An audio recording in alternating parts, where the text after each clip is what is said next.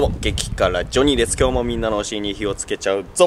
やってきましたはい、えー、今回ですけども神奈川県にあります、えーキャベトンラーメン横浜青葉台店さんに来ております。キャベトンのキャベトはねこうキャベツを、えー意味してるんですけれども、まあ、キャベツを使った、えーラーメンがねこういろいろとこう取り揃えております。辛キャベトンというねちょっと辛いメニューがあるそうでこちらも今回もですね辛さレベルが、えー3段階に分かれております、えー中辛大辛激辛ということで、えー間違いなく今回は激辛に今回挑戦していきたいかなと思います。はい、えーそれではですねまあ恒例の、えーちょっと行った人の感想をちょっとねちらっと見ていきたいかなと思います、えーキャベトンラーメンの辛キャベトン前回中辛で全然大大全然だったので、えー今回大辛に挑戦。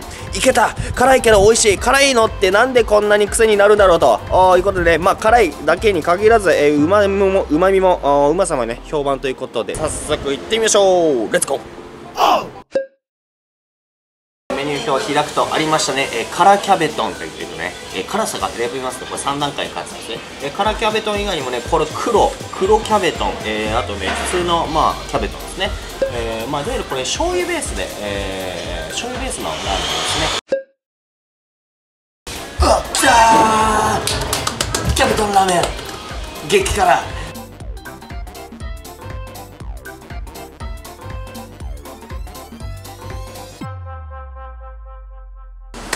いただきます。さあキャベトンラーメンさんの辛キャベトン激辛お手並み拝見です。でうわいい匂いがしますね。これは。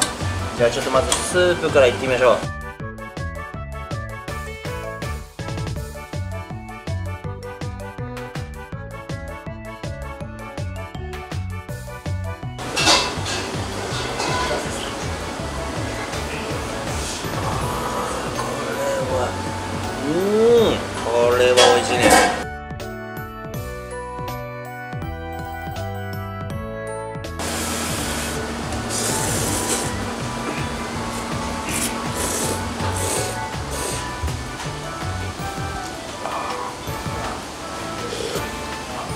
うん。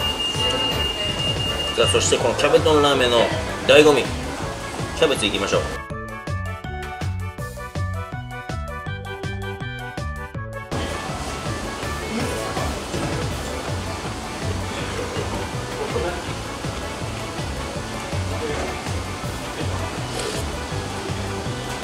合うわ。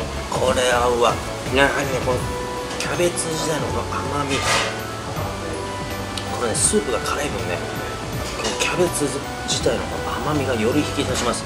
でそして歯ごたえシャキシャキでこれはたまりませんなと。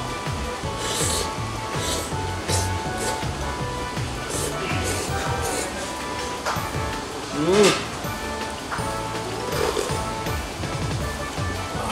これはたまりません。そしてこちらチャーシュー。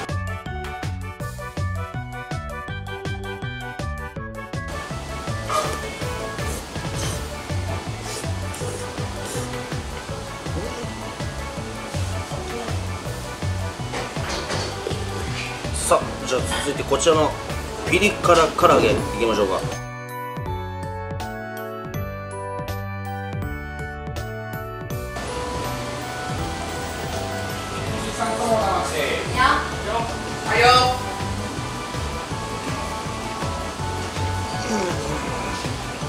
れはたまりませんなうん。これマヨネーズとの相性バッチシです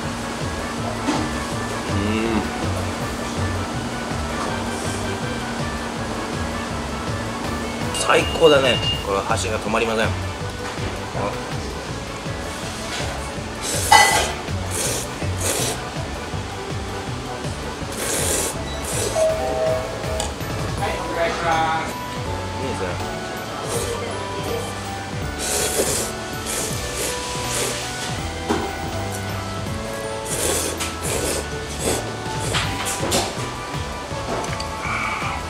さあそれでは半分ほど食べ終えたところで今回も行きましょう。おいからタイム。はい、えー今回はですねようさんのラー油、はい、このラー油をね、まあ、ちょこっとこう辛さが物足りないよっていう方はこのラー油を、えー足すとねちょっと辛みがアップするということを言われてますんで。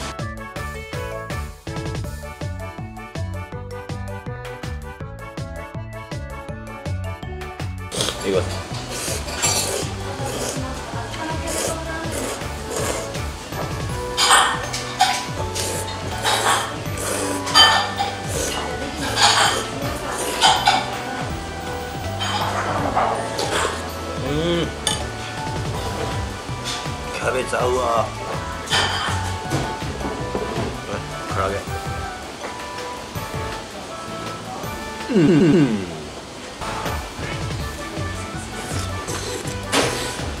ピリ辛タレとマヨネーズの相性抜群ですねこれ美味しいわ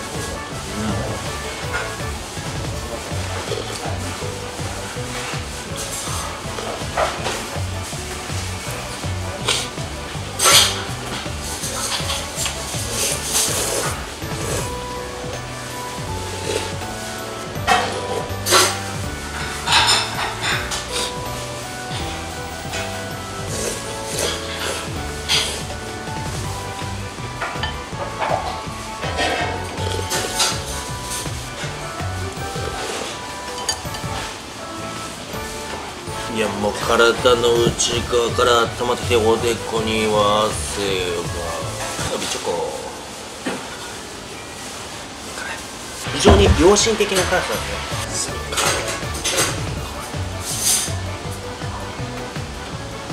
うんこ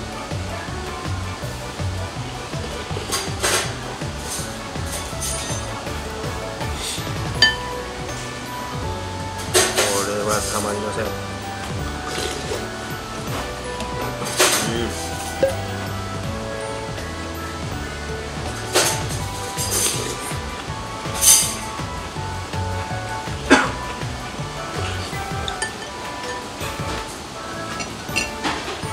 さあっという間に辛キャベト激辛。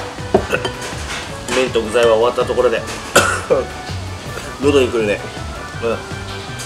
気管に入るとむせますけども。うん。さあ最後はこのスープを飲み切ってこの激辛バトルにケリーをつけたいと思います。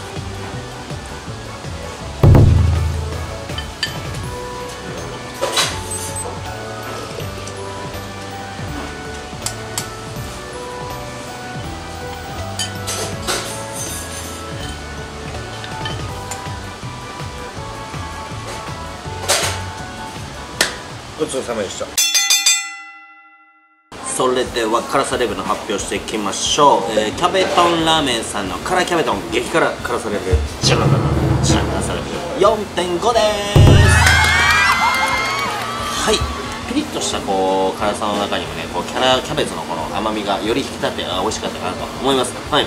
まああとねこの唐揚げピリ辛唐揚げ。はい。こちらがねまあこれいいですねこのピリ辛揚げ。ピリ辛唐揚げはそうですね辛さレベルまあ3とかぐらいだと思うんですけどマヨネーズの相性が抜群にあ良かったかなと思います。まあ比較的ねあのー優しめな辛さなんでまあこう食べ終わった後にこうよくねこうあまりにもこう香辛料の強い激辛料理で食べるとねあの胃痛に襲われたりしますねこれは全くありません、えーなおかつねこううま辛なんでね、えー初心者向け、ね、辛さちょっとビリッと今日ねちょっと辛いの食べたいなということはね安心してチャレンジできますのでぜひ、えーキャベトンラーメンで、えーこの辛キャベトえーチャレンジしてみてはいかがでしょうか。それでは、えー本日も最後までご視聴いただきありがとうございます。この動画が良ければグッドボタンチャンネル登録よろしくお願いします。あと激辛ブログも更新してますんで、えーチェックの方よろしくお願いします。それではまたお会いしましょう。またね。